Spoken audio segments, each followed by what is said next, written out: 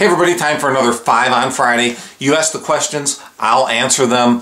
Uh, how busy have you been? I've been busy beyond belief. You know, so busy that I haven't been able to do a video a week. I apologize for that. I try to do these every Friday, but sometimes we just get so busy, especially in April and May in this landscape business. It's insane. So uh, I'm ready. I hope you are. Here we go. All right, question number one comes from Yard Barbers. How do you keep employees around? I have to say, first of all, it's the hiring process. When you hire somebody, you have to do your job. You have to work real hard to hire the right person to begin with.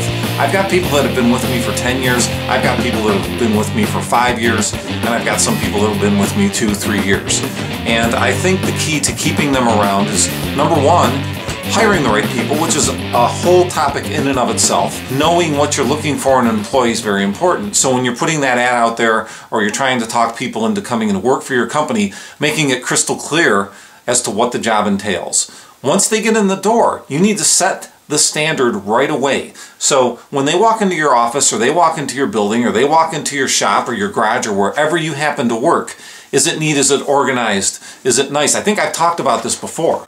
Uh, I think the most important thing is setting that tone right off the bat with your employees. Uh, potential employees and employees that have been around for a while. Once they get started, how do you keep them? Because that's the bottom line of the question here, right? Once they are working for you, do you have job descriptions? Do you have an employee's manual? Those are kinds of things that are going to set the tone for those employees so that they know this is what's expected of me. I'm going to be a foreman. I'm going to be a crewman. These are the specifications of what I have to do on a daily basis. How am I supposed to dress? Look at the employee's manual. It should tell you. Then the next thing is holding them accountable, rewarding them, you know, holding up carrots. Hey, if you do this, I can give you a raise. Don't just give raises. You know, give them a reason for the raise, make them work towards it, and it'll give them something to work for. People want to grow. People want to grow as individuals. People want to be recognized. When they do a good job, recognize what they did. Call them up. Or if you're working with them, say, hey, I just saw that you did a great job over there. You did a great job cutting out that tree ring. You did a great job weed whacking or edging or whatever it is. Those lines look boss. Make sure that you tell them that. It's super important. Next, don't treat them like garbage. Don't treat them like crap. People want to be treated with respect, okay? When they do something wrong, hold them accountable. You should have a process, okay? Verbal warning, written warning, and then maybe you're going to say, listen, third strike, and we're going to have a serious talk. You may lose your job. People need to know this is a career path. This is what's going to happen if I do the right thing. If I do the wrong thing, I'm going to have consequences as well. Other things to do, have employee get-togethers, have a party. Uh, if you can't afford to do that kind of stuff, pick up pizza. You know, pick up some drinks for them. Take some coffee in the morning. Try and do something to build a relationship with them because they're your employees. They're the people that make your business go. Tony's Lawn Care asks, have you guys ever busted out a window? If so, how often does it happen and what do you do to prevent it? That's a great question because guess what? I just got a bill today for $700 for a window that uh, one of my crews broke out in a car in a parking lot. I do not like having to pay for that. And listen, it happens in our industry, okay? So I think the important thing here is to realize that, you know what, we made a mistake, it happened, we're going to take care of it, we're going to pay for it. I think preventing that kind of stuff is just an awareness. It's, a, it's an awareness, it's a thought process, it's a culture of your company to be constantly on the lookout and trying not to damage things. So I think that you need to, as an owner, instill that. Again, it's like we talked about with the first question. What are you doing to prevent that in your company? Are you having weekly safety meetings? Are you talking about damages? Are you talking about things like that with your employees? Bottom line is, I think you really need to be vigilant and make sure that you're constantly on top of discussing things like damages, talking about injuries, things like that, because it's going to make your company better. Mudball1224. How many hours do the crews work? Do you keep overtime to a minimum? And are any employees on salary? Yes, we keep overtime to a minimum. Uh, we are a maintenance company. My company does primarily commercial maintenance, so I try to keep my overtime to a bare minimum. I try to set up the route so everybody has a 40-hour route so that we can get things done in an efficient way so that the crews don't have to work overtime, uh, and I try to do the best I can at that. As far as uh, how many hours the crews work, 40 to 45 a week. Okay, that's what I try to keep them at. In the spring, it might be a little more. In the summer, it might be a little less. Our average, I try to average it out, you know, about 42 hours maybe throughout the whole year. Now that might be different with the design build company because you're constantly, as you work, you're billing.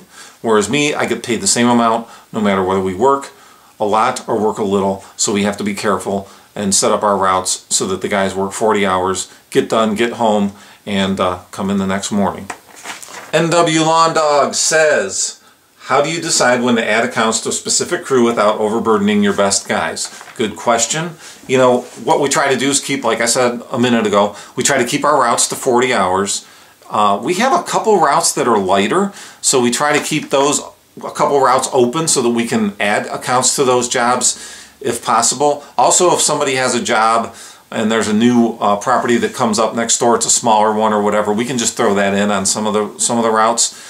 Uh, it's a case by case, it really is. A lot of times we give give the extra work to the best guys because they do the best job and they get it done in the most efficient time. But then you're kind of you're kind of punishing them for doing a great job. So I try not to do that. I try not to do it. I'm not saying we don't do it ever, but we try not to do that because you're just going to get them disgruntled. They're going to get upset. You know, they're doing a great job as it is. They're efficient as it is. So, you know, we try to not overburden them and say, all right, you know, now that you're doing such a great job and you're getting everything done in your time, we're going to add more to your route. I try to not do that just because I think it's important that the guys have what they have and they do a good job at what they do and they're not getting overburdened with extra work or getting punished because they did a good job. All right, I got one more here. I'm sorry, I'm not going to get to all of these today. I'm trying to keep it to five because that keeps the videos to a minimum. So uh, if you asked the question, I didn't get to it, I still have them. I'll get to it either next time or in the next couple videos. Okay, finally, I am going to answer this. John Boy's Lawn Service. Uh, what's your turnover rate on mower equipment? Do you keep mowers under warranty and trade them in and keep newer equipment or just run them until you need a new one? We try to keep our mowers as long as possible. I know that there's other companies, they use them for two years, turn them over. Um, in my particular company, I try to keep my mowers for as long as I can. Having said that, once they get around 2,000 hours, uh, you know, you're going to start getting nickel dime to death, so you have to watch out for that.